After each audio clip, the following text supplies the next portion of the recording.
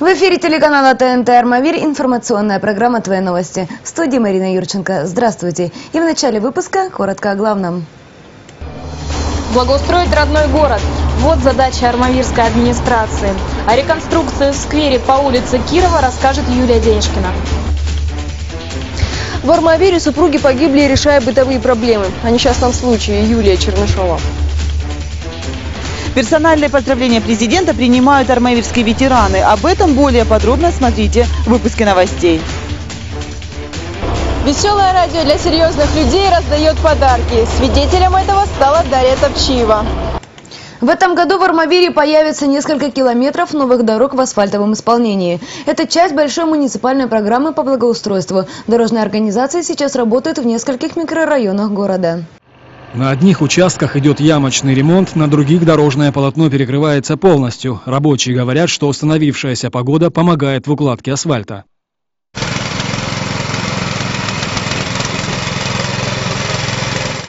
Не будет теперь ухабов и на улице маршала Жукова. Здесь строители делают тротуар. В мэрии говорят, что со временем асфальтоукладчик дойдет до каждой улицы, которая нуждается в ремонте. В поселке Юбилейно уже приступили к капитальному ремонту дворовых территорий. Например, на улице Гаражная его не было с момента строительства поселка. Сейчас здесь идет замена бордюрного камня, подготовка дорог и тротуаров под укладку асфальта. Начальник управления ЖКХ «Армавира» Николай Галкин после осмотра территории сделал ряд замечаний строителям по качеству исполнения, которые необходимо исправить. Делаем один раз на 20 лет. Когда 20 лет уже никто заходить не будет. Но и надо сделать все хорошо. Размах хороший, деньги добрые платим, давайте делаем.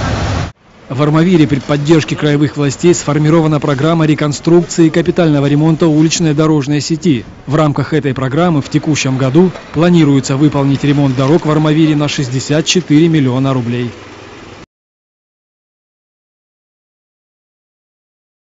Каждый год в Армавире проводится реконструкция различных объектов города – парковых зон, скверов, облагораживания дворов. Кардинальные изменения коснулись и сквера, расположенного по улице Кирова. Что нового там уже появилось и что еще планируется, расскажет Юлия Денежкина. Живи и процветай, любимый Армавир! Город становится все более красивее и краше. Реконструкция коснулась и сквера по улице Кирова. Еще полгода назад здесь лежал испорченный временем асфальт.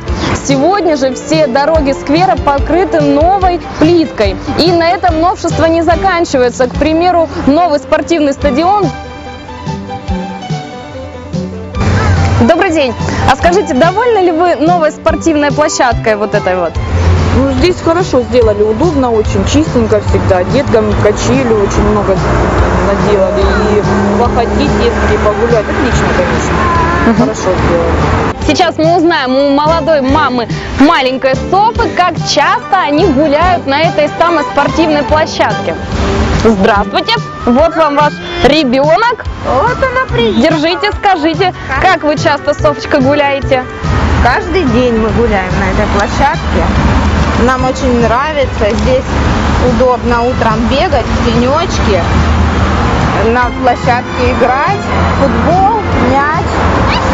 Потом даже велосипедные гонки тут устраиваем иногда. Так что мы довольно часто тут очень довольны площадкой.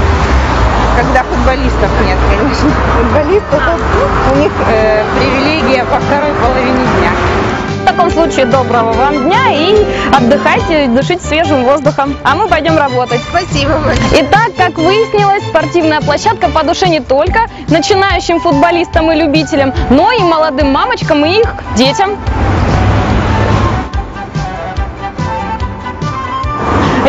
Спортивной площадкой расположилась детская. Здесь всевозможные качели, карусели, горки. Все для того, чтобы ваш ребенок с раннего детства приучался к активным играм.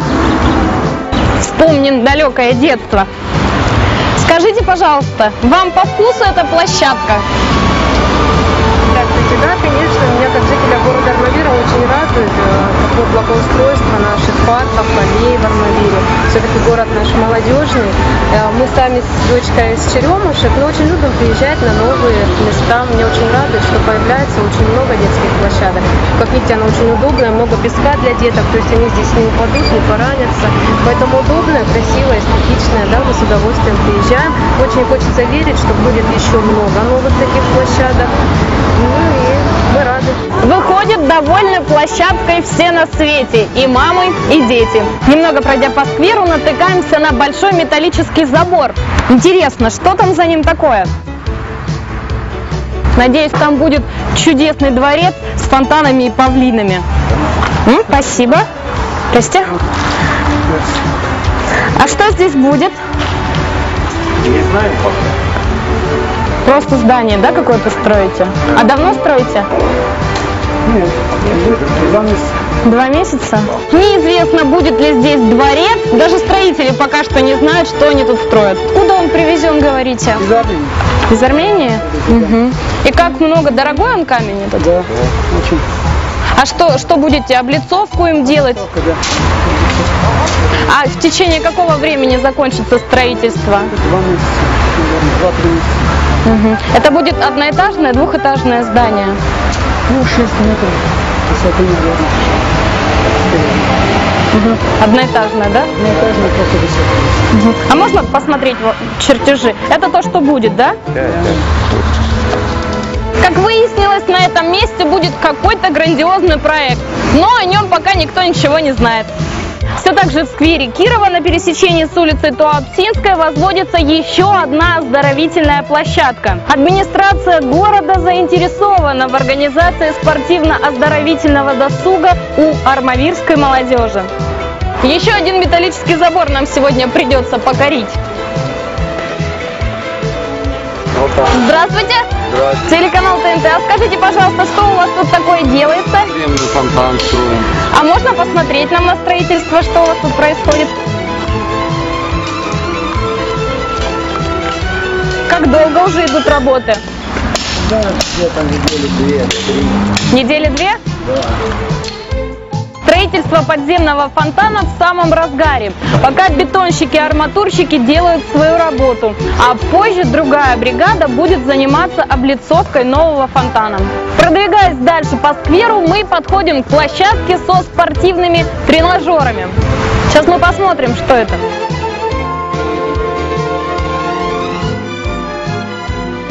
Бювет с минеральной водой будет построен именно на вот этом месте, на пересечении улиц Кирова и Тургенева.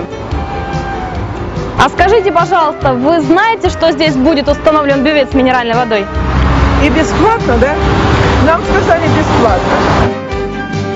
Все неоконченные постройки в сквере Кирова планируется завершить к сентябрю месяцу. Юлия Денежкина, Станислав Чинский, служба новостей Армавира. Продолжаем выпуск. Быть в курсе последних новостей из пострадавшего от стихии города Крымска может каждый армавирец. В минувшую среду в интернете появился новый сайт «Крымск-2012». Ресурс открыт для всех пользователей электронной сети. На сайте содержится информация о ходе восстановительных работ в городе после наводнения. Новости, фотографии, видео с места событий. Сайт обновляется ежедневно. Краевые власти готовы поддерживать многодетные семьи. Как передает Федерал Экспресс Юг, согласно региональному законопроекту о дополнительных мерах соцподдержки отдельных категорий граждан, с 1 января 2013 года за третьего ребенка в семье им будут платить по 6763 рубля в месяц. Пособие распространяется на многодетных родителей, имеющих детей в возрасте до 18 лет, и выплачивается до достижения новорожденным, который должен появиться на свет с 1 января 2013 года трехлетнего возраста. Выплаты семьи могут получить в том случае, если их среднедушевой доход не превышает величину месячного среднедушевого денежного дохода Краснодарского края. Предполагается, что в 2013 году эта сумма составит 6763 рубля в месяц. Власти региона предусмотрят в бюджете будущего года на предоставление таких выплат не менее 304 миллионов рублей.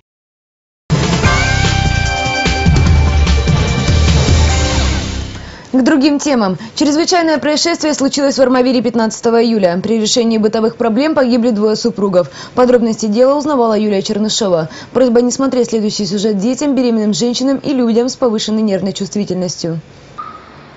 15 июля в следственный отдел по городу Армавиру поступило сообщение об обнаружении на территории одного из частных домов тел погибших мужчины и женщины, которые, как выяснилось, впоследствии оказались супругами. Результаты проверки показали, что мужчина во дворе своего домовладения чистил сливную яму. Там, по всей видимости, он потерял сознание и захлебнулся. Погибла также жена пострадавшего, которая бросилась его спасать из сливной ямы. Их обнаружила э, мать погибшего мужчины, которая ну, обратила внимание, что как бы, ну, не могла найти своего сына, э, когда значит, искала его на территории домовладения, обнаружила и его, э, и, и его супругу вот именно в сливной яме. У погибших супругов осталось двое малолетних детей. Возможно, они будут переданы под опеку ближайших родственников. У них вообще у этих супругов э, двое детей. Один ребенок в это время находился на побережье, на Черноморском в лагере, отдыхал. Вот. Второй ребенок просто спал. Ученик третьего класса просто дома спал. Ну, теперь с детьми, я думаю, наверное, бабушка должна оформить опекунство и будет как бы воспитывать их сама. Ну, а у них там еще есть родственники, как бы без призора дети не останутся. Семья абсолютно нормальная, как бы никаких там асоциальный образ жизни они не вели. Ну, вполне нормальная среднестатистическая семья, поэтому, как бы, я думаю, дети без призора не останутся. В настоящее время проводятся следственные мероприятия для выяснения всех обстоятельств случившегося. Версия об убийстве следователями не рассматривается. Юлия Чернышова, Александр Жилеев, служба новостей Армавира.